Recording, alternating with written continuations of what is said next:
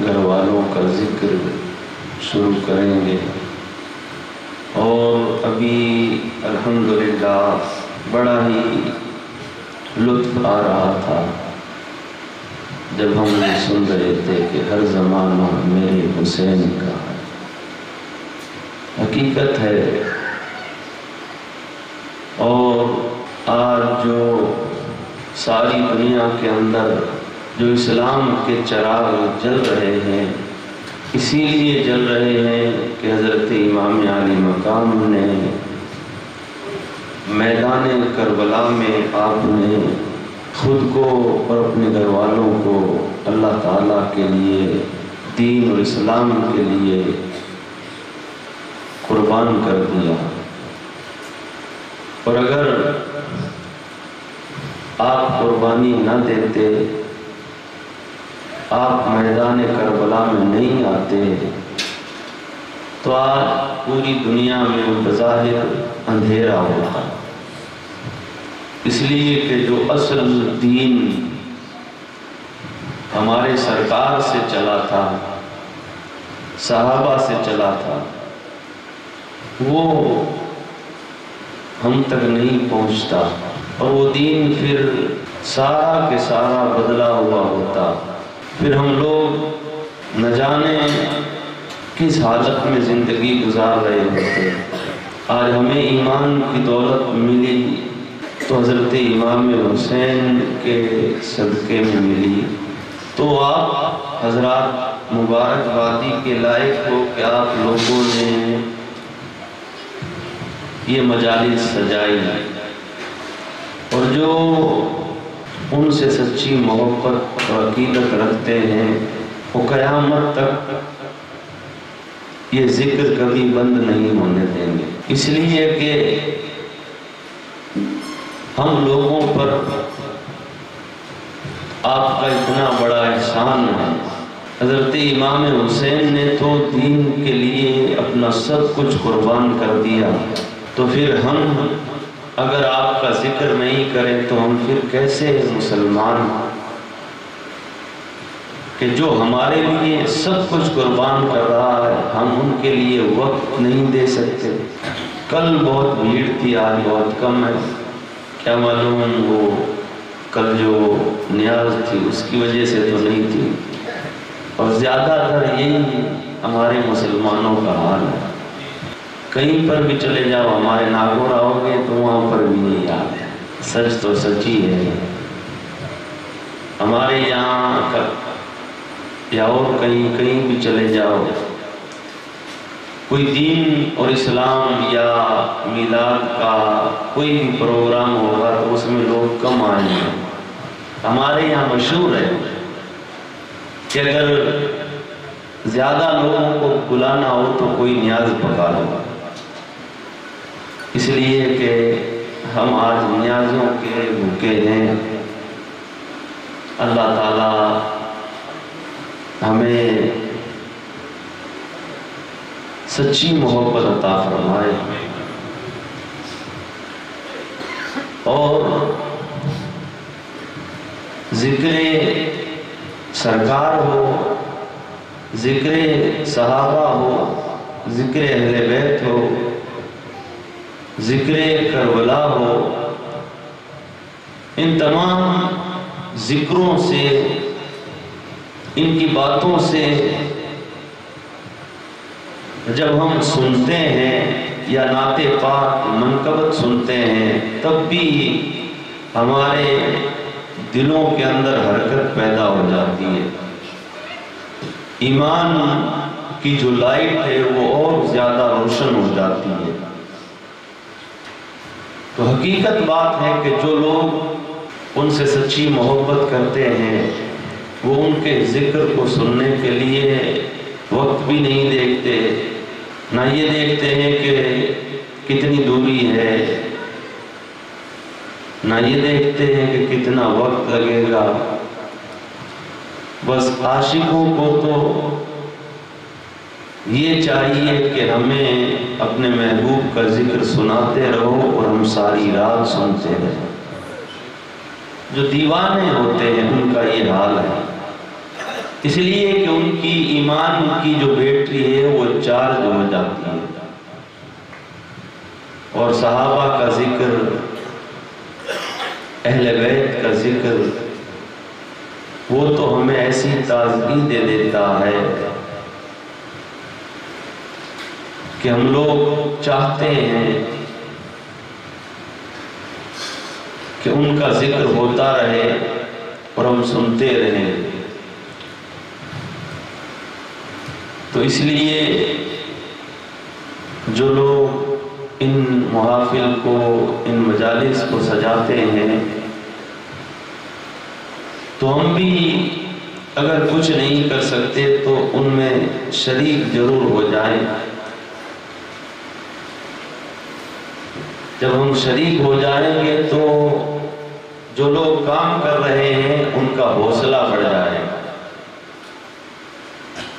खुश हो जाते हैं कि आज अल्हम्दुलिल्लाह बहुत लोग आए बहुत लोगों ने सुना। और हम नहीं आए तो फिर करने वाले जो इन मजालिस को सजा रहे हैं उन्हें भी ये लगता है कि भाई लोगों को शौक नहीं है, सिर्फ़ खाने का ही शौक है। और कुछ तो लोग ऐसे होते हैं जो इन चीज़ों को इतना पसंद करते हैं, इतना पसंद करते हैं। इसलिए कि वो हकीकत में उनसे मोहब्बत करते हैं। इसलिए अल्लाह ताला से हम दुआ करें, अल्लाह ताला हमें उनसे सच्ची मोहब्बत अता फरमाए।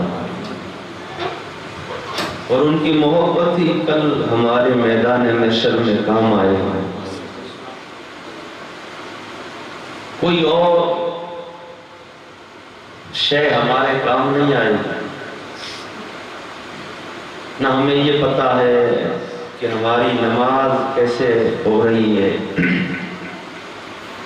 हमारे अमाल हम कैसे कर रहे हैं।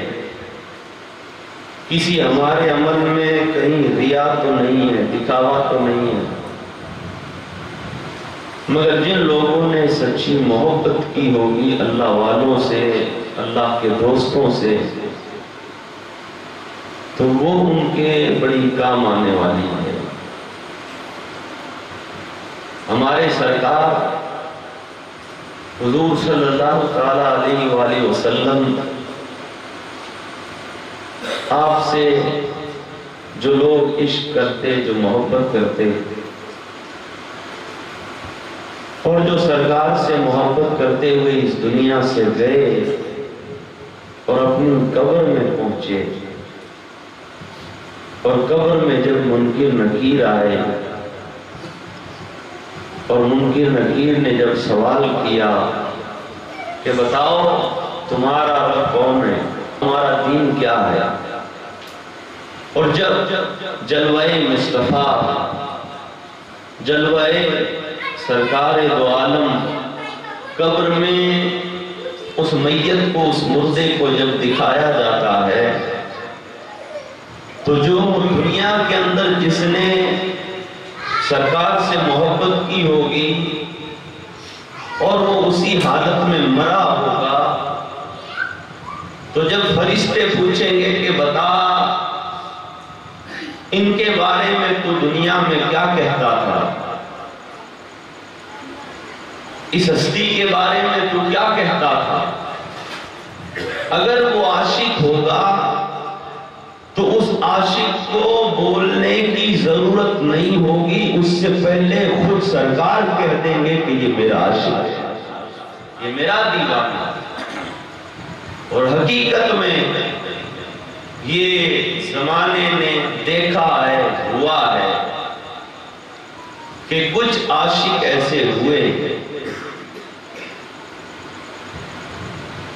कि जिनकी कब्र में जब उनसे फरिश्तों ने सवाल किया तो उन्होंने जवाब नहीं दिया, उससे पहले हमारे सरकार ने जवाब दे दिया। कहा कि फरिश्तों, इसे ना पूछो कि ये कौन है, मुझसे पूछो कि ये कौन है। आज उन्हीं आशिकों में से एक आशिक, खलीफा दो हज़रत अमीर हज़रत उमर फारूक रज़ी अल्लाह आपका हम मुख्तसर ज़िक्र करेंगे क्या हुजूर सल्लल्लाहु अलैहि वसल्लम से कितनी मोहब्बत करते और किस कदर सरकार सल्लल्लाहु अलैहि वसल्लम से आपकी चाहत थी, मोहब्बत थी और किस कदर आप सरकार के इश्क में गुम थे कि जिन्होंने अपनी पूरी हस्ती भी सरकार की मोहब्बत में मिटा गया हज़रत उमर जब आप ईमान नहीं लाए थे, इस्लाम में दाखिल नहीं हुए थे, उससे पहले भी आपका जलाल, आपका दबदबा पूरे शहर मक्का पर था इसलिए कि आप ऐसे जवान थे, इतनी आप ताकत रखते थे कि आपके सामने कोई भी कुफारे मक्का, कोई बड़े से बड़ा पहलवान भी आपके सामने बोलने से डरता था। वो ताकत थी, अभी आप इस्लाम में दाखिल नहीं हुए।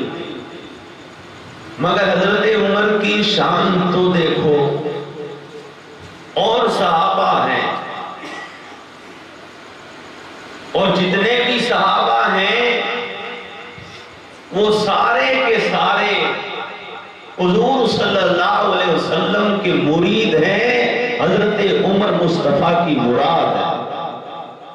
और सारे सहाबा तो सरकार की बारगाह में आए, मगर हज़रत उमर को बुलाया गया, जिसके लिए सरकार ने रातों को उठ उठ कर दुआ की। या अल्लाह तू मुझे उम्र दे दे, या अल्लाह मुझे उम्र दे दे, या अमर दे दे। अमर कौन था? अमर था अबू जहल। मगर सरकार ने जब दुआ की तो पहले कहा, या अल्लाह, मुझे उम्र दे दे या अमर दे दे। आपने हज़रत उमर का नाम पहले लिया। अल्लाह तबारक व ने उम्र ही को आपको दे दिया। और कुफारे मक्का तो हमारे सरकार को इतनी तकलीफें दे रहे थे। और चंद मुसलमान और चंद सहाबा, हज़रत अबू बकर सिद्दीक, हज़रत उस्मान गनी, हज़रत बिलाल, हज़रत यासिर, हज़रत जैद ये थोड़े से सहाबा हज़रत अमीर हमजा भी उसमें शामिल है। ये बस चंद सहाबा थे और दारे अरकम के अंदर हुजूर वसल्लम अपने सहाबा को अल्लाह तबारक व ताला के फरमान, कुरान की आयात सुनाया करते। और जब कुफार मक्का हुजूर वसल्लम के और आपके गुलामों के जानी दुश्मन हो गए। कई मरतबा उन्होंने आप पर हमला किया। एक मरतबा तो हजूर वसल्लम आप खाना काबा के पास खड़े होकर आपने कुफार मक्का को पुकार कर कहा। रब तबारक ताला के बारे में जब बताया और उन बुतों के बारे में जब बताया तो वहाँ कुफार मक्का हुजूर सल्लल्लाहु अलैहि वसल्लम पर आपको मारने लग गए। तो उस वक्त हज़रत अबू बकर सिद्दीक आप आए। आप आगे बढ़े। आपने सरकार को बचाने के लिए खुद उस भीड़ के अंदर चले गए।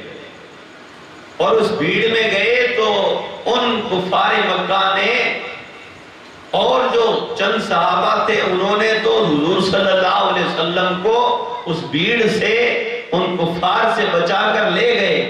मगर हज़रत अबू बकर सिद्दीक को उन काफिरों ने इतना मारा इतना मारा कि हज़रत अबू बकर सिद्दीक वहीं पर बेहोश हो गए। इस कदर आपके जिस्म से खून निकला। आपके पूरे कपड़े खून से भर गए। और आपको उठाकर जब आपके घर ले जाया गया, आप बहुत देर के बाद जब होश में आए, आपके घर वालों ने पूछा, अबू बकर, कैसे हो? तो हज़रत अबू बकर सिद्दीक ने कहा कि, मुझे ये बताओ कि मेरे आका कैसे हैं? हुजूर सल्लल्लाहु अलैहि वसल्लम कैसे हैं? सरकार को भी उन काफिरों ने तकलीफें दी। मगर किसी भी काफिर की ये हिम्मत नहीं थी कि वो डायरेक्ट हुजूर सल्लल्लाहु अलैहि वसल्लम आपके पास में जाए और आप पर हमला कर दे। तो उन्होंने एक मीटिंग रखी और जिसमें उन्होंने ये बड़े बड़े पहलवानों को भी दावत दी और वहाँ पर अबू जहल, उतबा, शैबा, अबू जहल, अबू सुफियान, ये बड़े बड़े सरदार वहाँ जमा हुए। उसमें हज़रत उमर भी थे। हज़रत उमर से भी उन लोगों ने मशवरा लिया। किसी ने कुछ कहा, किसी ने कुछ कहा। मगर उन सब की निगाह और तवज्जो ये थी कहा कि अगर उमर इस बात पर राज़ी हो जाए कि उमर वसल्लम को कत्ल कर दे। इसलिए कि उमर की बहादुरी इतनी मशहूर थी और हज़रत उमर के सामने कोई बोल नहीं सकता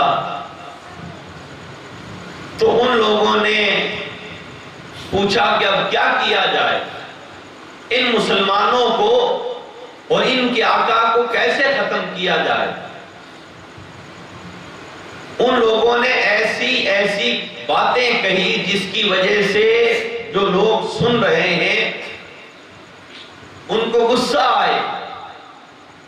मगर फिर भी किसी की हिम्मत नहीं हुई। हज़रत उमर आप खड़े हो गए। और वो लोग चाहते ही ये थे कि ये काम उमर करे। हज़रत उमर से कहा कि तुम बताओ कि क्या किया जाए। तो हज़रत उमर ने कहा कि किसी को इतना माल दिया जाए, इतना इनाम दिया जाए ताकि वो एक ही आदमी जाकर मोहम्मद का सल्लल्लाहु अलैहि वसल्लम आपका काम कर दे। तो उस वक्त अबू जहल ने कहा कि उमर, ये जो तुम मशवरा दे रहे हो ये काम तो तुम खुद ही कर सकते हो। तुम जो कहते हो कि सौ ऊँट उसको इनाम दिया जाए तो ए उमर, हम तुम्हें सौ ऊँट से ज़्यादा माल भी देंगे और इतना इनाम देंगे। हज़रत उमर को चढ़ाया गया। हज़रत उमर तैयार हो गए, तलवार ले ली। और हज़रत उमर ने कहा कि तुम यहीं पर रुको। थोड़ी ही देर में तुम्हें मोहम्मद सल्लल्लाहु अलैहि वसल्लम उनकी खबर आ जाएगी। मैं अभी जा रहा हूँ। हज़रत उमर वहीं से निकले और जिस तरफ़ सरकार सल्लल्लाहु अलैहि वसल्लम आप और आपके सहाबा बैठे हुए थे उस तरफ़ हज़रत उमर गुस्से में जा रहे थे। रास्ते में लोगों ने देखा कि उमर की तलवार नियाम से बाहर है। अब लगता है कि किसी की गर्दन उड़ने वाली है। सारे शहर मक्का के अंदर सन्नाटा छा गया। कहा कि आज तो कोई ना कोई मारा जाएगा। किसी की भी हिम्मत नहीं कि वो उमर के सामने आकर पूछ ले, उमर किधर जा रहे और हज़रत उमर दारे अरकम की तरफ़ चले जा रहे हैं। और हुजूर सल्लल्लाहु अलैहि वसल्लम के एक सहाबी उसी गली में जहाँ से हज़रत उमर आ रहे थे, उन्होंने हज़रत उमर को देख लिया और वो समझ गए कि उमर किधर जा रहा तो उन्होंने हज़रत उमर को रोककर कहा, उमर, कहाँ जा रहे हो? तो कहा कि अभी तुम्हें थोड़ी ही देर में पता चल जाएगा मैं कहाँ जा रहा हूँ। तो वो समझ गए कि उमर दारे अरकम ही की तरफ़ जा रहा है। तुम साहबी ने कहा कि उमर, तुम जिसकी तरफ़ जा रहे हो, उसका दीन तो तुम्हारे घर में आया हुआ हज़रत उमर ने कहा, मेरे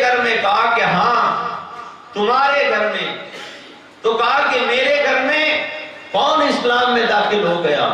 तो कहा कि उमर, तुम्हारी बहन ने इस्लाम कबूल कर लिया। तुम्हारी बहन भी ईमान ले आई है। तो हज़रत उमर को उस वक्त हज़रत उमर को गुस्सा आया। आपने कहा कि अब मैं पहले मेरे घर की तरफ़ जाऊँगा। मैं पहले मेरी बहन को देखूँगा। उसके बाद मैं उस तरफ़ जाऊँगा। जिस तरफ़ से ये हवा मेरे घर के अंदर आई है। अब हज़रत उमर ने रास्ता बदल दिया। अब आप अपनी बहन के घर की तरफ़ रवाना हो गए। इधर वो सहाबी हुजूर सल्लल्लाहु अलैहि वसल्लम तक पैगाम पहुँचाया। कहा कि उमर या रसूल अल्लाह उमर नंगी तलवार लेकर इस तरफ़ आ रहे हैं। हुजूर सल्लल्लाहु अलैहि वसल्लम को जब ये पैगाम दिया गया, आप मुस्कुराए। आपने कहा कि उमर आ नहीं रहा है, बल्कि बुलाया जा रहा है। बल्कि उमर को बुलाया गया है, उमर खुद नहीं आ रहा है। अब हज़रत उमर अपनी बहन के घर गए। आपने ये कई बार ज़िक्र सुना होगा, मशहूर है कि आप घर के अंदर जब बाहर पहुँचे तो देखा कि अंदर से आवाज़ आ रही है। कुरान की तिलावत हो रही है। आपकी बहन और बहनोई कुरान पढ़ रहे थे। हज़रत उमर ने ज़ोर से दरवाजे पर मारा। आपकी बहन समझ गई और जो बहनें होती है, वो भाइयों के कदमों की आड़ से समझ जाती है कि कौन आया। तो उन्होंने जल्दी से कुरान के जो सफात थे, उनको छुपाया और हज़रत उमर के बहनोई वो भी छुप गए। और जब आपकी बहन ने जैसे ही दरवाज़ा खोला, हज़रत उमर ने ज़ोर से अपनी बहन के चेहरे पर थप्पड़ मारा। अब हज़रत उमर का थप्पड़ कितनी ज़ोर से लगा होगा कि उनका सर दीवार से टकरा दांतों पर ऐसी लगी कि खून बहने लगा। हज़रत उमर ने कहा कि तूने भी उस मोहम्मद सल्लल्लाहु अलैहि वसल्लम का कलमा पढ़ लिया। तो उसने आपकी बहन ने कहा, उमर, तुमने सही सुना है। हज़रत उमर और जलाल में आ गए। आप मारने लगे।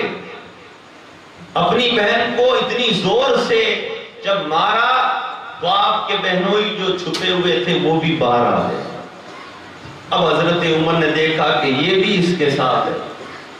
अपनी बहन को छोड़कर उनको मारने लगे। अब बहन बहनोई को इस कदर मारने लगे और कहने लगे कि छोड़ दो मोहम्मद का दामन। छोड़ दो इस्लाम को। छोड़ दो इस नए दीन को। अगर तुम नहीं छोड़ते हो तो मैं तुम्हारी जान निकाल दूँगा। मैं तुम्हें यही मार दूँगा।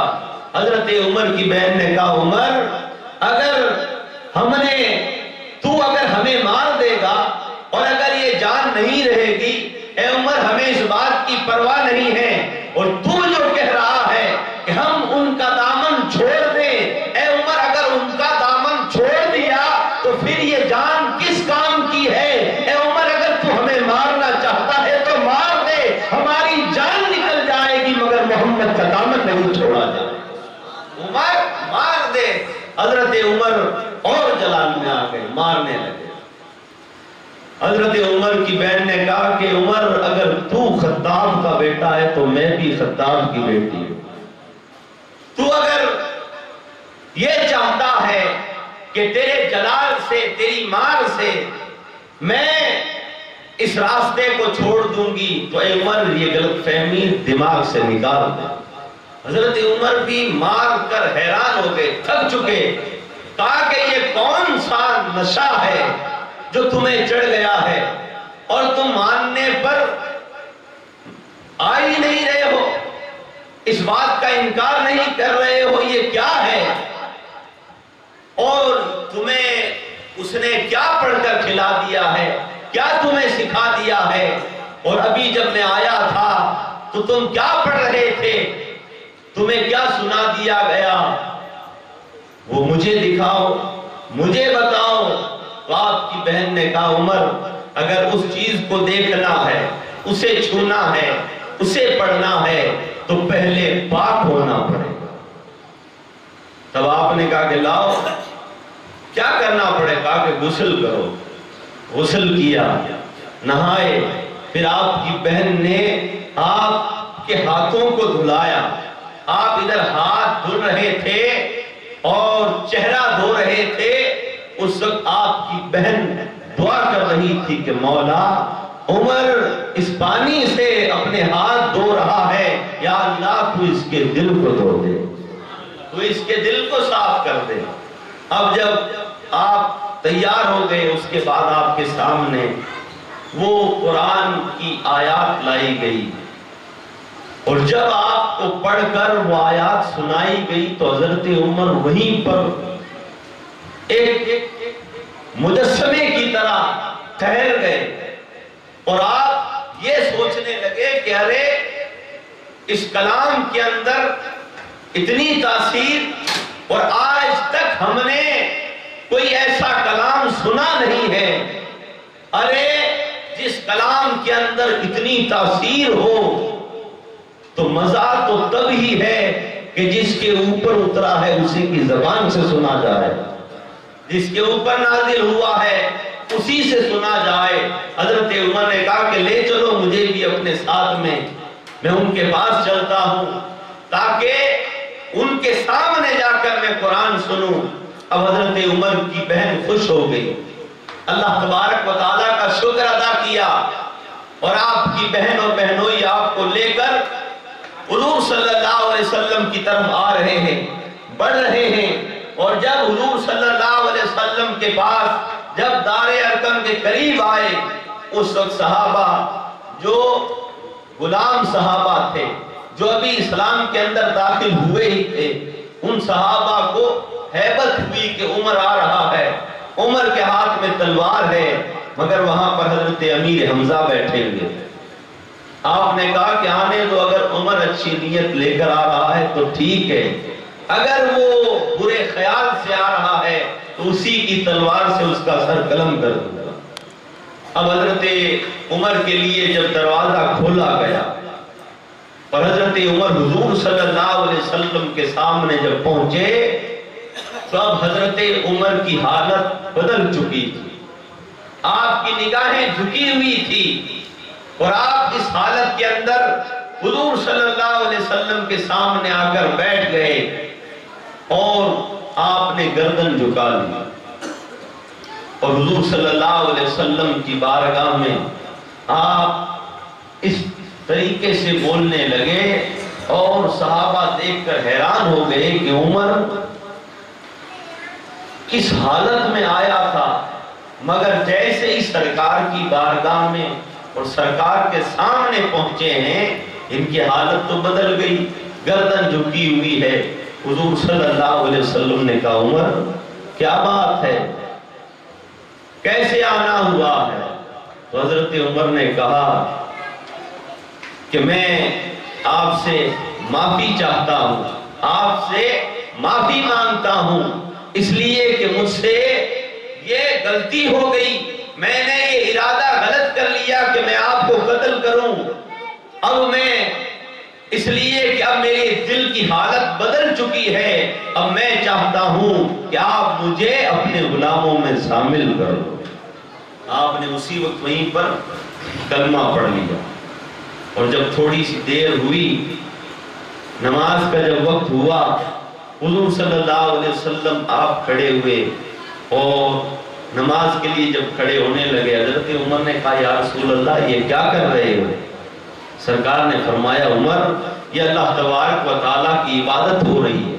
ये नमाज़ पढ़ी जा रही है। हज़रत उमर ने कहा कि हम हक पर हैं। कहा कि हाँ हम हक पर हैं। तो कहा कि हम हक पर हैं और उसके बाद छुप कर नमाज़ पढ़े छुप कर उस खुदा की इबादत करें। या रसूल अल्लाह उमर को ये गवारा नहीं है कि हम हक पर होने के बावजूद हम छुप कर इबादत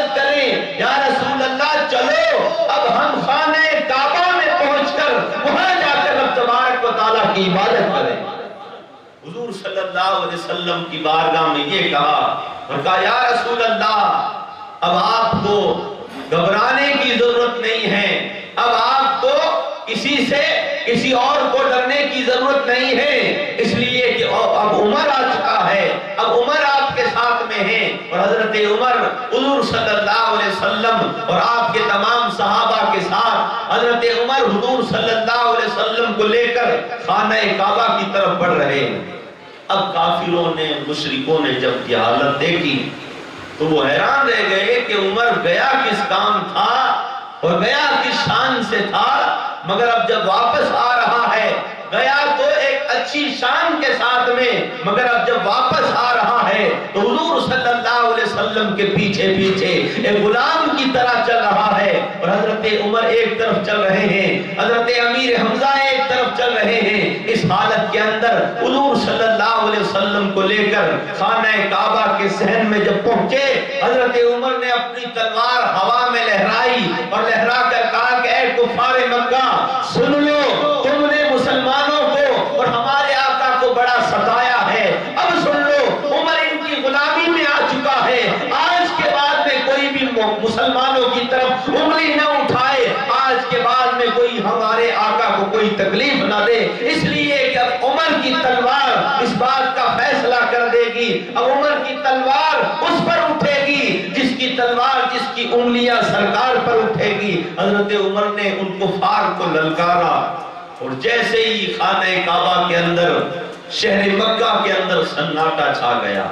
और उधर वो जो अबू जहल और जो कुफार मक्का बड़े बड़े लोग बैठे हुए थे उन्होंने सोचा कि अभी खबर आएगी, अभी खबर आएगी, अभी अच्छी खबर आएगी। मगर उनके पास खबर पहुँची कि उमर जिस काम के लिए गया था, उमर तो खुद उन्हीं का होकर रह गया है। तो इस बात से उन कुफार मक्का को बड़ी चोट लगी। वो लोग हैरान रह गए कि उमर जैसा बहादुर उमर को क्या हो गया है? और उमर इस जोश के साथ में गया था, ऐसी ताकत लेकर गया था, मगर उमर को क्या हो गया है? सारे के सारे अपना सर पकड़कर बैठ गए, ताकि उमर भी उनका हो गया, तब अब उनका सामना कौन करेगा? तब अबू जहल ने एक अपने दोस्त को जो यमन का रहने वाला था, उसको खत लिखा। कहा कि हबीब, उसका नाम हबीब था। उसे खत भेजा कहा कि तुम जितना जल्दी हो सके शहर मक्का पहुंचो। इसलिए कि मुझे तुम्हारी बड़ी ज़रूरत है। यमन पहुँचा तो यमन से हबीब यमनी, वो शहर मक्का के अंदर जब दाखिल हुआ तो बाहर ही अबू जहल से मुलाकात हो गई। और जब बाहर अबू जहल से मुलाकात हुई, हबीब यमनी ने कहा कि, अबू जहल, तूने मुझे खत में यूँ क्यों लिखा कि जितना जल्दी हो सके मैं पहुंचूं? ऐसी क्या बात हो गई? ऐसा कौन सा पहाड़ टूट गया? तो अबू जहल ने कहा कि अभी ये सारी बातें मैं तुम्हें घर चलो, वहाँ पर बताऊँगा. तो हबीब ने कहा कि, ऐसी क्या बात हुई? तो कहा कि, तुम चलो मेरे साथ। और चलते चलते अबू जहल ने अपनी जेब से रुई निकाली। और रुइये निकाल कर कहा कि हबीब, ये अपने कानों में डाल ले। तो कहा कि ये किस लिए? कहा कि अरे, शहर मक्का के अंदर हमारा भतीजा है। साल तक तो वो अच्छी अच्छी बातें करता रहा। हर एक की आँखों का तारा था, मगर अचानक से न जाने उसे क्या हो गया है। अजीब अजीब बातें कहने लगा है, मरने की बातें करने लगा है, कयामत की बातें करने लगा है, और एक खुदा की बातें करने लगा है, जो खुदा नज़र नहीं आता है, और हमारे बुतों को बुरा भला कहता है, और वो कहता है कि मुझ पर रब का कलाम नाजिल होता है।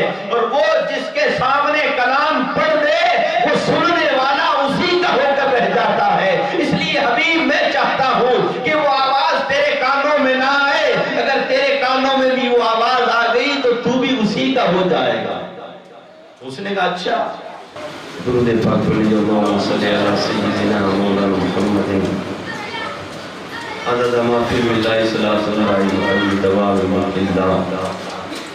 तो अबू जहल जब हबीब को लेकर जब आ रहा था, ये सारी बातें जो शहर मक्का के अंदर हो चुकी थी, वो सब कुछ हबीब को बता दी। मगर हबीब ने कहा कि अबू जहल, मुझे क्या करना है? तो कहा कि हबीब, तू हकीम है। तू हकीम है। और मैं चाहता हूँ कि तू मेरे भतीजे का इलाज करे। तू उसे देखे। तू उसके बारे में कुछ बताए। तू बहुत बड़ा आमिल भी है, हकीम भी है। तो हबीब ने कहा कि ठीक है, मैं इलाज कर दूँगा। तो अबू जहल अपनी हवेली पर ले गया। और उसे सारी बातें बता दी। मगर अबू जहल ने कहा कि तुझे उसका इलाज करना है।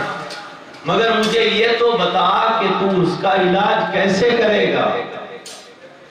तो हबीब ने कहा, मैं तो हकीम हूँ और जो हकीम होता है वो नब्ज नाक को पकड़ कर देखता है कि क्या बीमारी है। तो अबू जहल ने कहा कि नहीं नहीं, हाथ नहीं पकड़ना।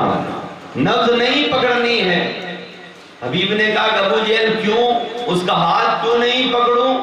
अबू जहल ने कहा कि, यार, अबू बकर ने बचपने में उसका हाथ पकड़ा था, अभी तक पकड़े हुए हाथ नहीं पकड़ना, हाथ पकड़ा तो उसी का हो जाएगा।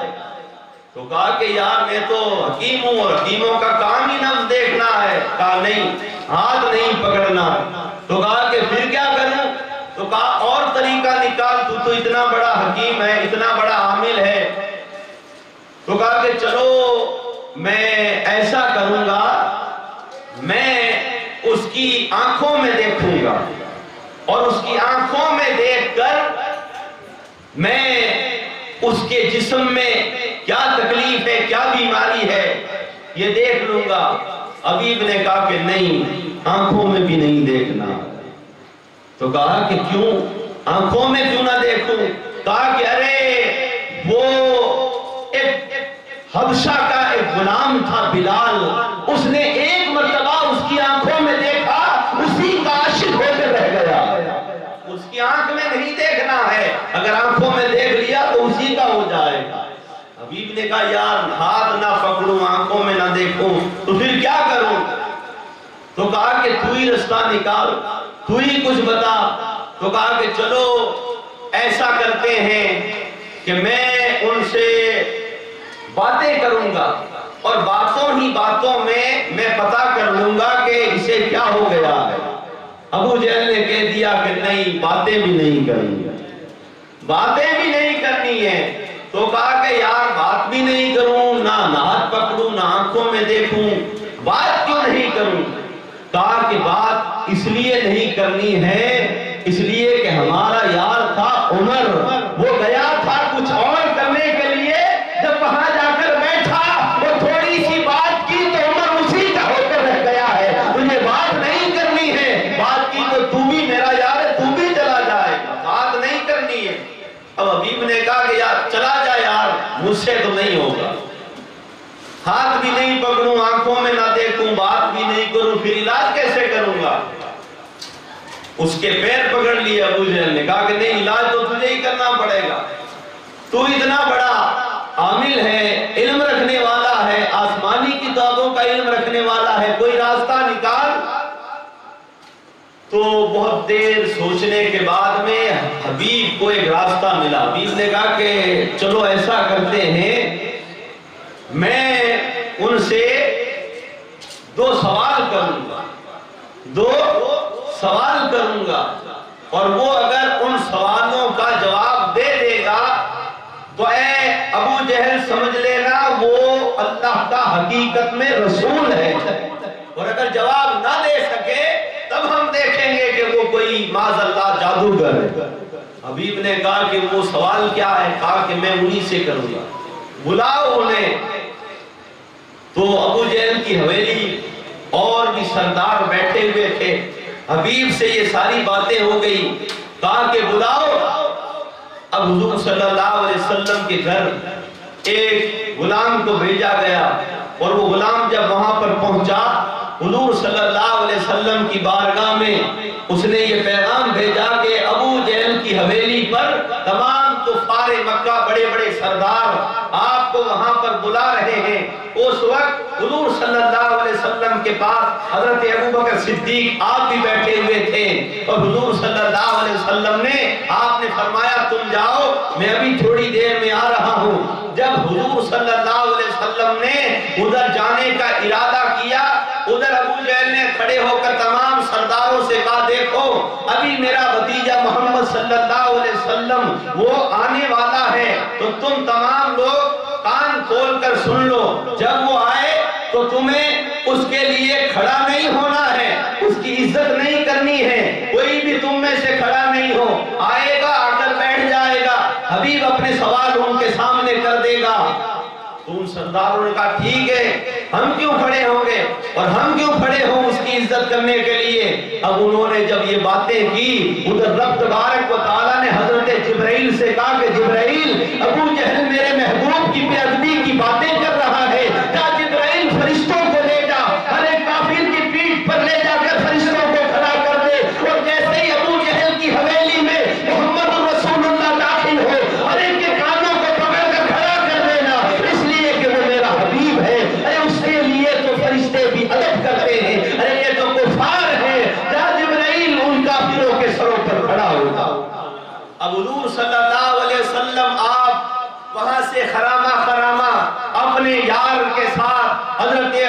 सिद्दीक के साथ, जैसे ही उस हवेली के अंदर, जैसे ही आपने अपना कदम मुबारक अंदर रखा, सारे के सारे, वो जितने भी सरदार बैठे हुए थे, उन सबसे पहले अबू जहल खुद खड़ा हो गया, और कुफार भी खड़े हो गए।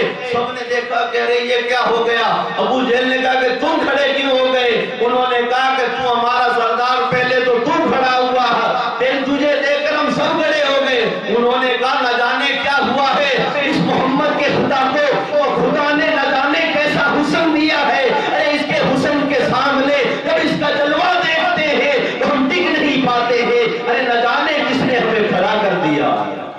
अब जब सरकार आकर बैठ गए, सरकार ने पूछा, क्या बात है? मुझे क्यों बुलाया? तो एक सरदार ने कहा कि हमारे बाहर से, यमन से एक बहुत बड़े आमिर आए हैं। वो आपसे सवाल करना चाहते हैं। अगर तुम नबी हो, तुम दोनों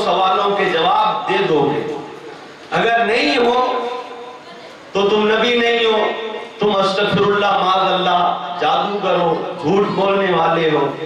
सरकार ने पूछा कि वो सवाल क्या है? अब हबीब आगे बढ़ा। हबीब ने कहा कि, मोहम्मद, मैं तुमसे दो सवाल करूँगा। एक सवाल मैं करूँगा, जवाब देना होगा, और दूसरा सवाल तुम्ही को बताना होगा, जवाब भी तुम्ही देना होगा। सरकार ने कहा कि, पहला सवाल क्या है? तो कहा कि, यहाँ पर सवाल नहीं होगा, चलो मक्का की पहाड़ी पर चलते हैं। वहाँ पर सवाल अब हुजूर सल्लल्लाहु ने फरमाया, चलो, जहाँ पर ले जाकर सवाल करना है, वहाँ पर सवाल कर दो।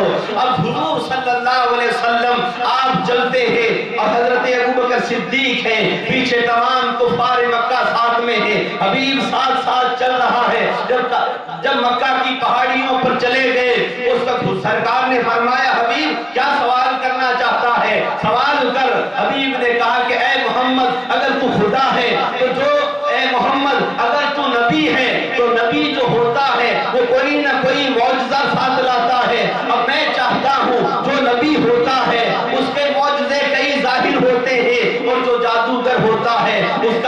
ज़मीन पर चलता है आसमानों में नहीं चला करता है वह मोहम्मद मैं चाहता हूँ कि वो देखो चौधरी का चाँद चमक रहा है उसकी तरफ़ इशारा करो अगर तुम्हारे इशारे करने से चाँद के तो टुकड़े हो गए तो ऐ मोहम्मद हम तुम्हें नबी मान लेंगे हुजूर सल्लल्लाहु अलैहि वसल्लम ने मुस्कुरा कर कहा कि बस इतनी सी बात है चाँद के दो टुकड़े करने हैं सरकार ने उस चाँद की तरफ़ इशारा किया आपने इशारा नहीं किया था आप बस इशारा करने ही जा रहे थे उधर वो चाँद भी हुजूर का आशिक था वो भी इंतज़ार कर रहा था कि मेरा महबूब कब मेरी तरफ़ इशारा करे वो मैं अपने सीने को चीर दूँ हुजूर ने जैसे ही इशारा किया चाँद ने अपना सीना चीर दिया एक हिस्सा इस तरफ़ जाता है एक हिस्सा इस तरफ़ जाता है हबीब ने जब देखा मैं देखकर हैरान रह गया तमाम कुफारे मक्का ये देखकर हैरान हो गए कि ये क्या हो गया है और जब सरकार ने निगाहें नीचे की अबू जहल ने जब नीचे देखा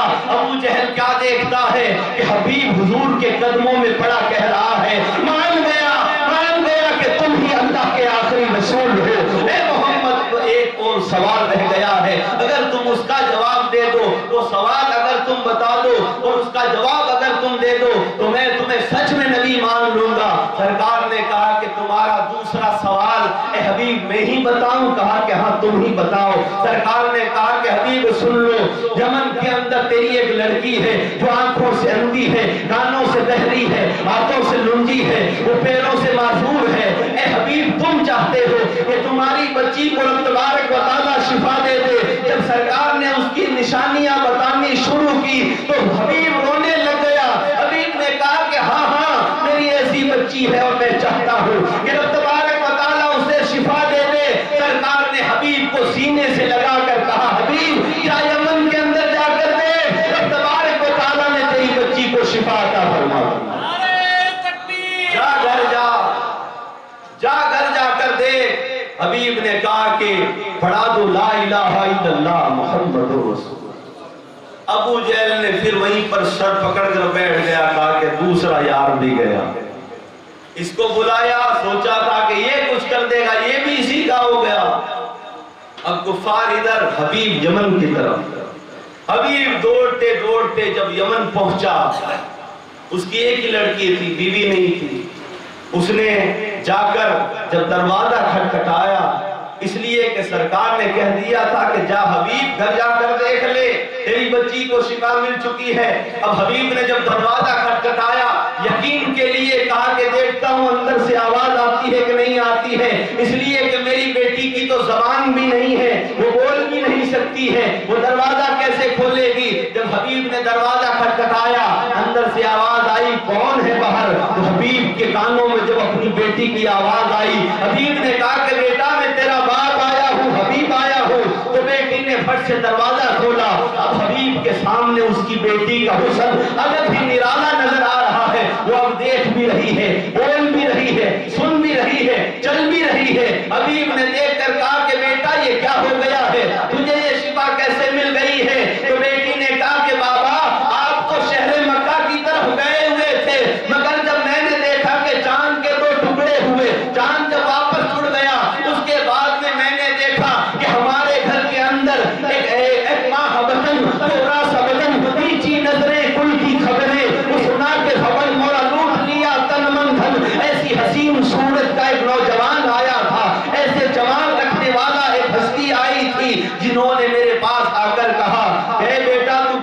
चाहती है तो मैंने कहा कि मैं चाहती हूँ कि मैं सही हो जाऊँ। मैंने उनसे अपनी जबान में बात कही तो उन्होंने मेरे सर पर जैसे ही हाथ फेरा।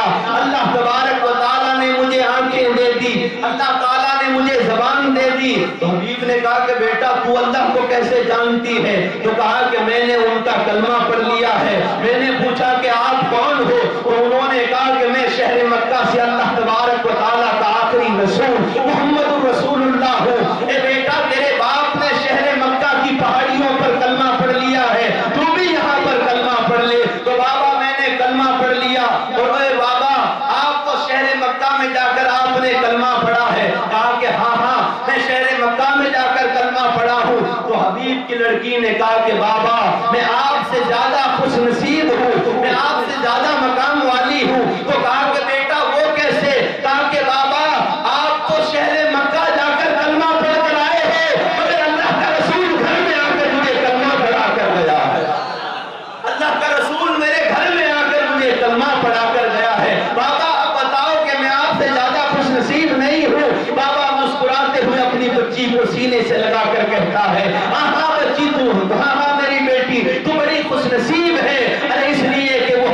अल्लाह का रसूल है बेटा, मैं भी उस पर ईमान ले तो हमारे सरकार ने तो इस तरीके से इस कदर आपके आशिकों की भीड़ लग गई थी। मगर जब हज़रत उमर आ गए और हज़रत अबू बकर सिद्दीक आ गए, उस्मान आ गए, तमाम सहाबा धीरे धीरे जब सरकार की बारगाह में आते रहे और आज ज़िक्र तो हज़रत उमर का होना है। और हज़रत उमर को रब तबारक व ताला ने वो शान अता फरमाई, वो मकाम अता फरमाया, वो जलाल अता फरमाया, जिसके लिए हमारे सरकार हज़रत उमर से कहते हैं, ए उमर, अल्लाह तबारक व ताला ने तुझे वो जलाल दिया है। तुझे रब तबारक व ताला ने वो बहादुरी और तेरे हुस्न के अंदर वो जमाल और जलाल दिया है कि ए उमर मैंने अपनी आँखों से देखा है कि तू जिस रास्ते से गुजरता है उस रास्ते से शैतान भी छोड़कर भाग जाता है। ए उमर शैतान तो शैतान, जो इंसानों में शैतान है, वो भी रास्ता छोड़ देता है। जो इंसानों में शैतान है, वो भी भाग जाता है। हज़रत उमर की शान ये थी, और जब आप अमीरुल मोमिनीन, जब आप दूसरे खलीफा जब बने, उस वक्त आपकी शान क्या थी? आदि दुनिया पर हुकूमत करते थे, मगर लिबास कैसा था? उस शहनशाह का लिबास क्या था? आपका लिबास फकत दो चादरें एक ऊपर रहती थी और एक तहमत की तरह बंधी हुई रहती थी ये हज़रत उमर का लिबास था। ऐसी सादगी में रहते थे। और जब आप एक मरतबा मस्जिद नबी के मिंबर पर खुतबा दे रहे थे, और उस वक्त ईसाइयों से बहुत बड़ी जंग चल रही थी, जिसकी सिपह सालारी हज़रत सारिया फरमा रहे थे। और इधर तो आप खुतबा दे रहे हैं, उधर वो जंग चल रही है। मगर हज़रत उमर का मकाम देखो, आपकी निगाह तो देखो कि आप मस्जिद नबी के मिंबर पर बैठकर वो एक महीने की मसाफत की दूरी का मंजर देख रहे हैं कि सारिया जंग लड़ रहे हैं, ईसाइयों से जंग लड़ लड़ी जा रही है। तो हज़रत उमर ने उस वक्त हज़रत सारिया को पुकार कर कहा, सारिया, पहाड़ी की तरफ़ देखो, सारिया, पहाड़ी की तरफ़ देखो। वहाँ पर हज़रत सारिया ने देखा कि आवाज़ हज़रत उमर की आ रही है। मगर हज़रत उमर नज़र नहीं आ रहे हैं और जब पहाड़ी की तरफ़ देखा गया तो पहाड़ी की तरफ़ से ईसाई हमला करने वाले थे। हज़रत सारिया ने जब ईसाइयों को देख लिया, आपने पूरे लश्कर का रुख उन ईसाइयों की तरफ़ कर दिया और उस जंग की वजह से, आपकी पहाड़ी की तरफ़ मुड़ने की वजह से और वो जो फतह मिली थी, वो हज़रत उमर की आवाज़ से मिली थी, हज़रत उमर के कहने की वजह से मिली थी। अब एक दो महीने के बाद जब वो फतेह हो गई और इधर जब वो वापस फौजी आए, मुजाहिदीन आए, हज़रत सारिया आए, उन्होंने आकर शहर मदीना के अंदर खुशखबरी दे दी। कहा कि हज़रत उमर तक पैगाम भिजवा दो अल्लाह ताला ने हमें फतेह अता फरमाई है। तो लोगों ने पूछा, सारिया, फतेह कैसे हुई? कुछ हमें भी तो बताओ, कैसे जंग लड़ी गई? हज़रत सारिया ने कहा कि और कोई तो पासा नहीं पलटा। मगर हम लड़ रहे थे तो मुझे हज़रत उमर की आवाज़ आई, कहा कि सारिया, पहाड़ी की तरफ़ देख, इसलिए कि हमारे सामने तो चंद ईसाई थे, मगर पहाड़ी के पीछे बहुत बड़ा ईसाइयों का लश्कर था, जो हम पर हमला करने वाला था। मगर हमें जब हज़रत उमर की आवाज़ आई, तब हमने उधर उस तरफ़ रुक कर लिया, और उन ईसाइयों से लड़े, और ईसाइयों को हमने शिकस्त दी। हज़रत उमर का मकाम देखो। एक महीने की मसाफत की दूरी पर जंग लड़ी जा रही है, वो अपनी नज़रों से मस्जिद नबी में बैठकर देख रहे हैं। तो बताओ, हज़रत उमर की निगाहों का जब ये आलम है तो उनके सरकार, हमारे सरकार की निगाहों का आलम क्या होगा? तो जब हज़रत उमर के पास में ये खबर आई, आप बस मुस्कुराए, मगर पूरे शहर मदीना के अंदर शोर मच गया। कहा कि हज़रत उमर यहाँ बैठे बैठे, इतनी दूर तक आपने आवाज़ पहुँचा दी। आवाज़ पहुंचाई पहुंचाई, आप वहाँ तक देख भी रहे थे। तो ये चर्चा हो गया। तो एक हज़रत उमर का बचपने का दोस्त था, जो शहर मदीना के बाहर जंगलों के अंदर रहता था। वहाँ तक जब ये खबर पहुँची तो आपका बचपने का दोस्त था। तो वो भी शहर मदीना में आ गया। अब बचपन का दोस्त था। उसे पता नहीं था कि मेरा दोस्त अब अमीरुल मोमिनीन बन चुका है। खलीफतुल मुस्लिमीन बन चुका है। उसे पता नहीं था कि मेरा दोस्त अब बादशाह बन चुका है। तो वो तो जब मदीने की गलियों में आया तो हज़रत उमर को ऐसे पुकार रहा था जैसे आज के दोस्त दोस्त को पुकारते हैं। उमर उमर उमर कहाँ हो? ओ मेरे दोस्त, ओ उमर। अब लोगों के कानों में जब आवाज़ गई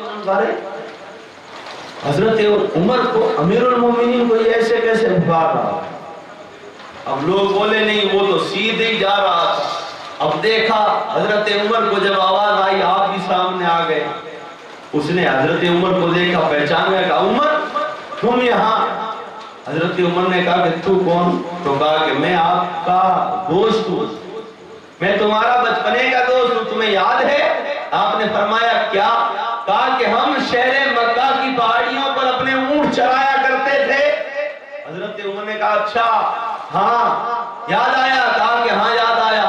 ए उमर, मुझे यह तो बता कि तूने ये कौन सा कमाल हासिल कर लिया? मैं ये बात पूछने आया हूँ। कि तू मदीने में बैठकर इतनी दूर आवाज़ पहुँचा देता है, वहाँ तक देख भी लेता है। ए उमर, पहले तो तेरा हाल ये था कि तुझसे तेरे बाप के दिए हुए ऊँट वो भी नहीं संभला करते थे। तू ऊंटों को भी नहीं संभाल सकता था।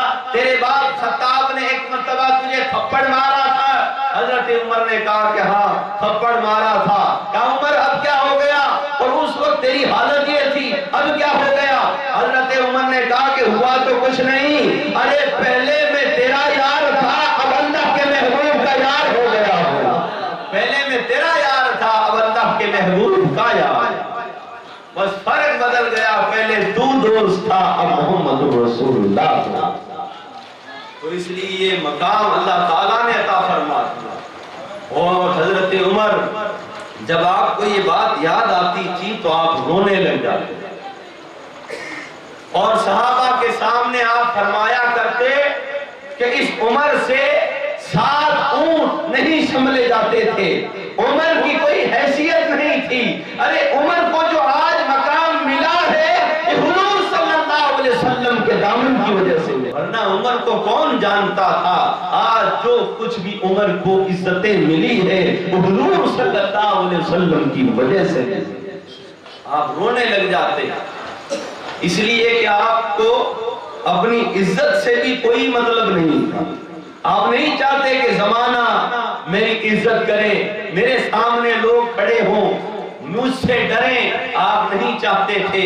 मगर हज़रत उमर हुजूर वसल्लम के आशिक जो हैं, आपके गुलाम जो हैं, हुजूर का इश्क अपने सीने में ऐसा रखा करते थे। तो फिर रब तबारक व आपको वो शान क्यों नहीं अता फरमाए कि जब ज़मीन पर जलजला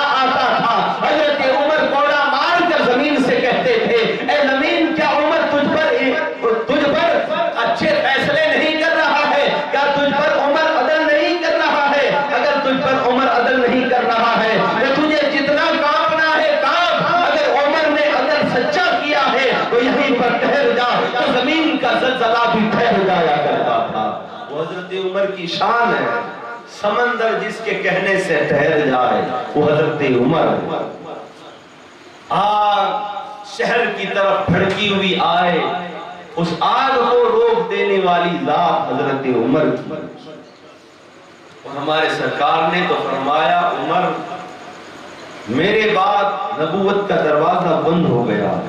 अगर खुला होता और अब तक नबूवत चलती तो ए उमर मेरे बाद तू नबी होती मेरे बाद तू नबी होता और हज़रत उमर की शान ये कि जब कभी भी कोई मसला ऐसा आ जाता जिससे सर, हमारे सरकार मशवरा लेते सहाबा से और कभी कभार हज़रत उमर सरकार की बारगाह में कह देते या रसूलुल्लाह ये ऐसे होना था या ऐसे होता तो अच्छा होता। आप अपनी राय देते थे, उधर से रब तबारक व वही हुक्म फरमा देता। वही आयत लेकर हज़रत जिब्राइल चले आते, जो हज़रत उमर अपनी जबान से मुफसरीन हमारे अइम्मा, हमारे बुज़ुर्ग कहते हैं, हज़रत उमर की राय पर 21 कुरान की आयात नाजिल हुई। वो हज़रत उमर की शान है। आपको अल्लाह तबारक व तआला ने इतना बड़ा मकाम अदा फरमाया। और हुजूर वसल्लम से ऐसा इश्क आप किया करते थे। सरकार वसल्लम से इस कदर आपकी चाहत थी, इस कदर मोहब्बत थी, इस कदर आपके इश्क की आग आपके सीने में लगी रहती थी। हज़रत उमर हर वक्त हजूर वसल्लम के सामने आपके चेहरे का दीदार करते रहते थे और हुजूर वसल्लम भी हज़रत उमर जो फरमाया करते, अर्ज़ करते थे, जो अपनी राय देते थे, हुजूर आपकी दी हुई राय को भी मान लिया इसलिए कि रब तबारक कि आपकी बात पर वो कुरान की आयत नाजिल हो जाती है। वो शान हज़रत उमर की है। आप ऐसी सादगी रखने के बावजूद भी आपको अल्लाह ताला ने इतना ऊँचा मकाम अता फरमाया कि आपके सामने कोई भी बोल नहीं सकता था। जब कैसरो किसरा फतेह हुए, बहुत सा माल गनीमत जब शहर मदीना में आया और जब शहर मदीना में माल आया तो सहाबा इकराम को ये फ़िक्र थी कि हमारे जो बादशाह हैं। हमारे जो अमीर मोमिनीन हैं, इनके पास में बाहर मुल्कों से और बादशाह आते हैं, उनके वज़ीर आते हैं, उनका लिबास अच्छा होता है। मगर हमारे खलीफा, हमारे अमीर मोमिनीन, ये फटी हुई चादरें पहनते हैं, फटी हुई तहमत पहनते हैं। हमारी इज़्ज़त उनके सामने नीची नज़र आती है। तो क्यों नहीं हम तमाम लोग मिलकर हज़रत उमर से इतना कहें कि उमर जब कोई बाहर से आए, इसलिए कि आप इतने बड़े बादशाह हो और हमारे पास में और बादशाहों के वज़ीर आते हैं, इसलिए आप भी अच्छा लिबास पहना करो, आप भी शाही लिबास पहना करो, ताकि उन लोगों पर रोक और जलाल पैदा हो। तो ये जब मशवरा साहबा ने किया ना तो अब एक दूसरे से कहने लगे कि अब ये बात उमर से कहेगा कौन? अब ये बात उमर से कौन साहबा ने कहा कि अब तो एक ही आदमी है जो बात उमर से कह सकता है कहा कौन? कहा कि हज़रत मौला अली ही उमर से कह सकते हैं। हज़रत मौला अली से जब कहा गया, हज़रत मौला अली ने भी आपने भी कह दिया, मैं ये बात नहीं कहूँगा। मैं उमर से नहीं कहूँगा। तो कहा कि फिर हम बात कैसे पहुंचाएँ? उस वक्त हज़रत मायसा सिद्दीका रज़ी अल्लाह तआला उनकी तरफ़ सहाबा की निगाह गई, कहा कि हज़रत उमर अगर बात मान सकते हैं तो मोमिनीन हज़रत आयशा सिद्दीका की मान सकते हैं। तो क्यों नहीं हम ये पैगाम उमुल मोमिनीन के पास में पहुंचाएँ? अब ये पैगाम भिजवा दिया गया, कहा कि हमारी तो हिम्मत नहीं। उमर के सामने ऐसी बात कह दे कि उमर, लिबास अच्छा पहना करो, शाही लिबास पहना करो। आप कह दो, इसलिए कि आपकी बात उमर टालेंगे नहीं, अपना लेंगे, या उस पर कोई जवाब दे देंगे, हम कह नहीं सकते हैं। इसलिए कि हमारी हिम्मत नहीं होती है कि हम उमर से ऐसी बात कह दें। वो उमुल मोमिनीन हज़रत आयशा सिद्दीका, आपको जब साहबा ने सबने मिलकर जब ये पैगाम भिजवाया, तब आपने एक पैगाम हज़रत उमर को भिजवाया। हज़रत उमर के पास जब ये पैगाम गया, उसी वक्त हज़रत उमर हुजूर सल्लल्लाहु अलैहि वसल्लम के हुजरे के बाहर आकर खड़े हो गए। आपने कहा कि इस गुलाम को क्यों बुलाया गया? अब हाजिर है गुलाम, क्या कहना चाहते हो? तो उमुल मोमिन हज़रत आयशा सिद्दीका, आपने कहा कि उमर, अल्लाह ताला ने, अब हमें इतनी शान दे दी है। इतना माल दे दिया है, इतना माल गनीमत फला जगह से आया है, फला जगह में फतेह हुई है, वहाँ से इतना माल आया है, और तुम हमारे बादशाह हो, तुम अमीरुल मोमिनीन हो तो हम तो सब चाहते हैं कि तुम भी एक बादशाह की तरह रहो। तुम भी लिबास अच्छा पहनो, अच्छे तरीके से रहो, ताकि बाहर से जो लोग आए, उन पर ऐसा असर हो कि यहाँ पर मुसलमानों के बादशाह की ये शान है, ऐसा लिबास है, ऐसा मकाम है, ऐसा हुलिया है, उन पर भी असर पड़ेगा। हज़रत उमर ने कहा कि माँ, मुझे बस इतना सा बता दो, आपकी बातें हक है, आपकी बातें सच है, मगर ए माँ मुझे इतना बता दो इतना कह दो कि हुजूर सल्लल्लाहु अलैहि वसल्लम की हुकूमत क्या पूरी कायनात पर नहीं थी कि हमारे सरकार ने कभी आपने ऐसा लिबास पहना था हज़रत आयशा सिद्दीका ने कहा कि नहीं कभी सरकार ने ऐसा अच्छा नहीं पहना। हज़रत उमर ने कहा कि माँ, तब मुझे अब कुछ नहीं कहना। इसलिए कि मेरे सरकार ने कभी ऐसा लिबास नहीं पहना है। आपने अपनी पूरी ज़िंदगी सादगी में गुजारी है तो ये गुलाम भी अपनी ज़िंदगी सादगी में गुजारे। उमर की ये हिम्मत, ताकत नहीं कि उमर अपने आका से बढ़कर लिबास पहन आपने ऐसी ज़िंदगी गुजारी। इस कदर ऐसी हालत में रहे। और हज़रत उमर को ये शान हासिल है कि तमाम सहाबा हज़रत उमर के सामने बोलने से डरा करते थे और जो हक बात हुआ करती थी तो हर एक सहाबा हज़रत उमर से पूछ लिया करते थे, बता दिया करते थे, हज़रत उमर से कह दिया करते थे और हज़रत उमर उसका जवाब दिया करते थे, उनकी बातें सुना करते थे और दिन के वक्त तो आप तख्त पर बैठा करते। और तख्त भी कैसा था? मस्जिद नबी की खजूरों की चटाई आपका तख्त था। उस पर बैठकर 22 लाख मुरब्बा मील तक हज़रत उमर आपने इस्लाम के झंडे लगा दिए। आप ऐसी सादगी के अंदर ऐसी आपने हुकूमत फरमाई। और रब तबारक ने वो मकाम आपको अदा फरमाया कि आप उस हालत में भी जब रात होती थी तो आप रात के वक्त शहर मदीना की गलियों में घूमा करते। देखा करते थे कि कहीं कोई परेशान तो नहीं कोई मुसाफिर तो नहीं आया है कोई घर में भूखा तो नहीं सो गया। है आप सारी रात गश्त लगाया करते थे। अगर कोई भी मिल जाया, मिल जाता था, हज़रत उमर उसकी खिदमत के लिए खुद चले जाते थे। एक दिन हज़रत उमर गली में जा रहे थे, सामने से एक नौजवान जो शराब पीने वाला वो बोतल अपनी बगल में लेकर आ रहा था और जैसी हज़रत उमर पर उसकी निगाह पड़ी तो वो घबरा गया। उसने कहा कि सामने उमर आ गया।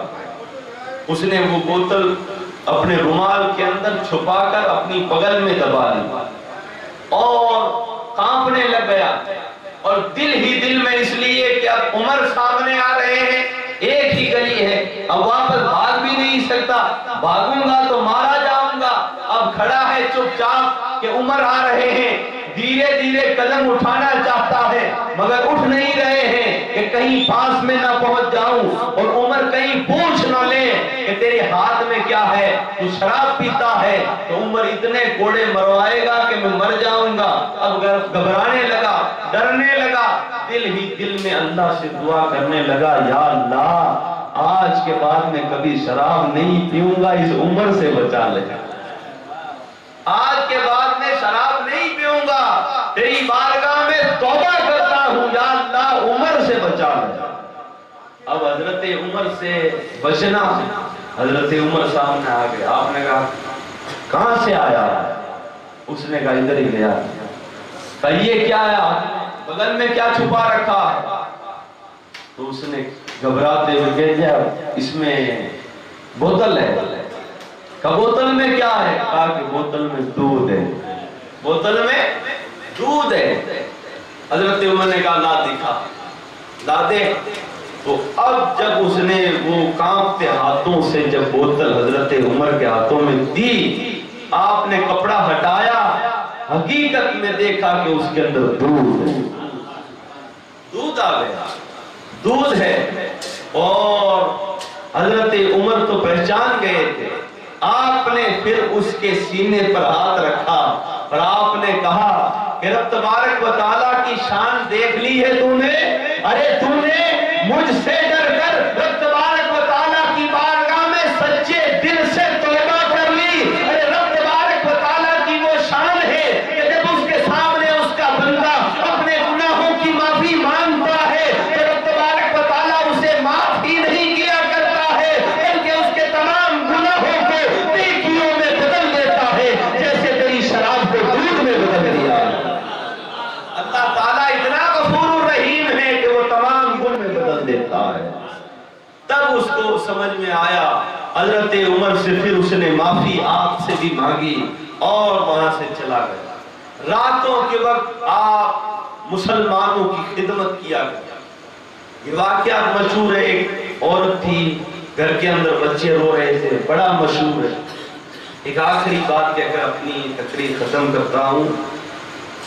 हज़रत मौला अली रज़ी अल्लाह आप अपना एक ख्वाब बयान करते हैं कि मैंने एक ख्वाब देखा। वो ख्वाब क्या था? मैंने ख्वाब देखा उस दौर के अंदर हज़रत उमर, आप अमीरुल मोमिनीन थे। आपका दौर खिलाफत था। हज़रत अली फरमाते हैं कि मैंने ख्वाब देखा कि मस्जिद नबी में फजर की अजान हुई और मैं उठा और मस्जिद नबी में गया। और जब मैं मस्जिद नबी में पहुँचा, मुसल्ले पर देखा, हमारे सरकार बैठे हुए और उसके बाद तकबीर हुई और सरकार ने फजर की नमाज़ पढ़ाई। फजर की नमाज़ हो चुकी। अब दुआ के लिए बैठे हुए थे। इतने में हमने देखा कि कोई शख्स अपने हाथों में एक टोकरी, खजूरों की टोकरी लेकर आया। और उसने वो टोकरी लाकर हुजूर सल्लल्लाहु अलैहि वसल्लम के पास रखी और कहा, या रसूल अल्लाह ये खजूरें आप अपने तमाम सहाबा में तकसीम कर दें। तमाम सहाबा में बांट दें। तो हुजूर सल्लल्लाहु अलैहि वसल्लम ने हज़रत मौला अली से ही कहा ख्वाब में काली ये खजूरें लो और सबको एक एक बांट दो एक एक दे दो। आप हज़रत मौला अली ने एक तरफ़ से शुरू की। सब, तमाम सहाबा को एक एक खजूर दी। और उसके बाद में जो बच गई, वो हजूर सल्लल्लाहु अलैहि वसल्लम के पास लाकर रख दी। अब हजूर सल्लल्लाहु अलैहि वसल्लम ने एक खजूर उठाई और कहा कि अली, ये तुम भी ले लो। अब हज़रत मौला अली कहते हैं, जब मैंने वो खजूर खाई और अभी खजूर खाई थी, इतने में हकीकत में मस्जिद नबी में फजर की अजान शुरू हो हकीकत में। और जब मेरी आँख खुली खुली तो मेरी जबान में वो खजूर की मिठास बाकी थी। जब आँख खुली, आपने कहा कि वो दौर हज़रत उमर का था। फिर मैं वैसे ही वज़ू बनाकर जब मस्जिद नबी में गया वही मुसल्ला है, मगर अब उस मुसल्ले पर उमर इब्न खत्ताब बैठे। हज़रत उमर बैठे हुए हैं। फिर तकबीर हुई, हज़रत उमर ने नमाज़ पढ़ाई।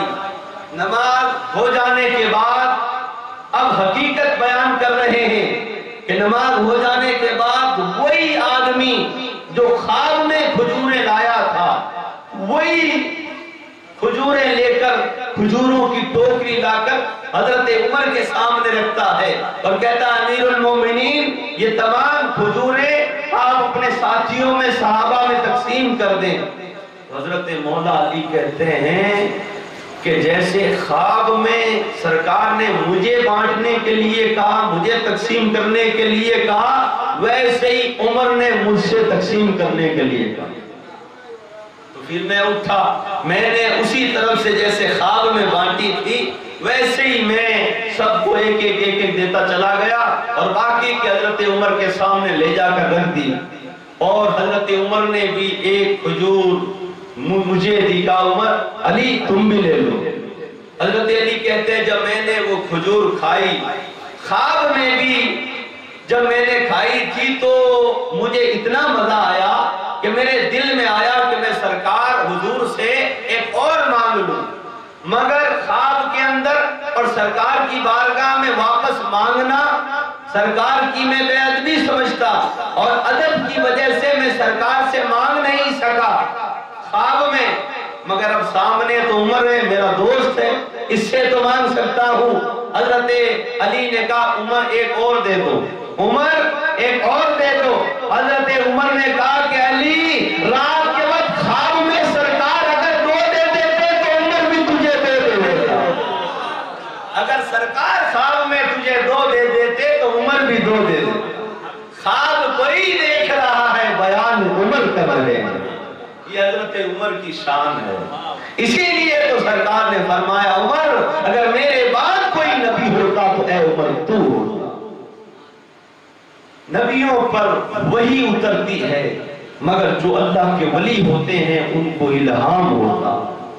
हज़रत उमर ने वो चीज़ देख ली जो हज़रत अली ख्वाब में देख रहे अल्लाह तबारक व ताला ने हज़रत उमर को ये शान अता फरमाई और आपकी शहादत यकम मुहर्रमुल हराम को मदीना शरीफ में हुई और वो फिरोज अबू लोलू नामी एक मजूसी और उसका बैकग्राउंड तारीख ने ये बताया है कि वो यहूदियत की वो चाल कहा कि उन यहूदियों का ये काम था इसलिए कि हज़रत उमर ने सरकार के विशाल के बाद ये जो इस्लाम की बात दौर थी, उसको हज़रत अबू बकर सिद्दीक ने संभाल लिया। हज़रत अबू बकर सिद्दीक के बाद हज़रत उमर ने और इस्लाम को फैला दिया। अब यहूदी जो इस्लाम के दुश्मन थे, वो चाहते थे कि ये और इस्लाम न फैले और उमर को हम कत्ल कर उमर को मार दिया जाए। अगर उमर खत्म हो गया, उसके बाद में इस्लाम भी खत्म हो जाए। तो इस यहूदियों ने ये चाल चली कि एक फिरोज नामी, वो मजूसी वहाँ पहुँचा और उसने एक सहाबी थे, उनके यहाँ पर वो नौकरी करता था और उसने हज़रत उमर के पास आकर उन सहाबी की शिकायत की, कहा कि वो मुझसे काम बहुत ज़्यादा करवाते हैं और मुझसे मजदूरी भी उल्टा वो मुझसे लेते हैं। हज़रत उमर ने कहा कि तू इतना बड़ा मिस्त्री है, इतने हुनर जानता है तो तू अगर तेरे मालिक को दो दिरहम दे दे तो उसमें तेरा क्या बिगड़ जाएगा? बस इतनी सी बात उसको लग गई। तारीख में ये आया है कि बस इतनी सी बात की वजह से उसने ये फैसला कर लिया कि मैं उमर को कत्ल कर मगर ये बात नहीं है। यहूदियों की चाल थी, ये एक नहीं था, बल्कि तीन थे। इंशाल्लाह इस इन बातों को कल बयान किया जाएगा कि तारीख में हुआ क्या, असल क्या है, बयान क्या हुआ। ये यहूदियों की चाल थी कि उमर को इस तरीके से कत्ल किया जाए कि ये लोग यूँ समझे कि बस अबू लोलो फिरोज ने आपको कत्ल किया है और किसी चाल नहीं है, बल्कि तीन यहूदी वहाँ पर थे। उनमें से एक अबू लुलू फिरोज था। इन सबने मिलकर ये फैसला किया और फजर की नमाज़ के वक्त हज़रत उमर जब मस्जिद नबी में पहुँचे तो आप जब मस्जिद नबी में जाते तो आप सफ़ेद दुरुस्त करवाया करते थे। उस वक्त उसने हज़रत उमर पर हमला किया। सत्ताईस या अट्ठाईस दिल हज को आप पर हमला हुआ। और जकम मुहर्रमुल हराम आपका विशाल हुआ। जब आपको जख्म लगा, तब आपने अपने बेटे से कहा कि जाओ, उमुल मोमिनी हज़रत आयशा सिद्दीका से जाकर ये इजाज़त लो कि मेरे बाबा अब न जाने कितने दिन के हैं और वो ये चाहते हैं कि जहाँ पर उनके आका सल्लल्लाहु अलैहि वसल्लम लेटे हैं और उनके यार अबू बकर लेटे चाहता है कि उमर को भी वहाँ पर जगह मिल जाए। इसलिए कि ए आयशा सिद्दीका, वो आपका हुजरा है। वहाँ पर आपके शोहर हैं, आपके वालिद हैं, मगर उमर चाहता है कि तुम उन्हें वहाँ पर जगह दे दो, वहाँ उन्हें दफन होने की इजाज़त दे दो। तो हज़रत आयशा सिद्दीका ने आपने इजाज़त दे दी। मगर हज़रत उमर ने कहा कि बेटा, जब मैं विशाल कर जाऊँ, इसलिए कि अभी तो मैं ज़िंदा हूँ। क्या मालूम कि उन्होंने मेरी हयाती के अंदर के मैं ज़िंदा हूँ, मेरे दिल को चोट न लगे? इसलिए उन्होंने मेरा दिल रखने के लिए कह दिया हो। बेटा, जब मैं विशाल कर जाऊँ, तब जाकर एक मरतबा और उनसे इजाज़त ले ली और उसके बाद सरकार के रोज़े के पास ले जाना। सरकार अगर इजाज़त दे तो मुझे वहाँ दफन कर देगा हज़रत उमर को भी हज़रत सैदना सिद्दीक अकबर के पास वहाँ पर आपको दफन किया गया। रब तबारक व तआला ने आपको ये शान अता फरमाई। हज़रत उमर से हज़रत सैदना सिद्दीक अकबर के लिए आप फरमाया करते थे कि रब तबारक व तआला ने मुझे दो वज़ीर आसमानों में अता किए हैं और दो ज़मीन पर किए हैं। पूछा गया, या रसूलुल्लाह, आसमानों में कौन है? हुजूर ने फरमाया, आसमान में जिब्राइल मेरा वज़ीर है, मीकाइल मेरा वज़ीर है। या रसूलुल्लाह, ज़मीन पर कौन है? आपने फरमाया, ज़मीन पर एक अबू बकर मेरा वज़ीर है और एक उमर वज़ीर जैसे हम इस तरीके से मजार में गए हैं, कल मैदान हशर में यूँ ही हम वहाँ पर पहुँचे। हज़रत उमर की ये शान है और इन तमाम सहाबा को अल्लाह ताला ने वो शान अता फरमाई। हम दुआ करते हैं, रब तबारक व ताला हज़रत उमर के वास्ते वसीले से हमारी खताओं को, गलतियों को माफ़ फरमाए। अल्लाह ताला हमें अमल की तौफीक अता फरमाए। अल्लाह ताला हमें हक और सच बोलने की तौफीक अता फरमाए। अल्लाह ताला हमारे अइम्मा के दर्जात बुलंद फरमाए। इनके उम्रों में बरकतें अता फरमाए। अल्लाह ताला हमें जो भी बातें हमारे उलमा, हमारे अइमा नसीहत करें, अल्लाह ताला उस पर चलने की तौफीक अता फरमाए। उमा अलैना बलाग, अस्तगफिरुल्लाह रब्बी। या नबी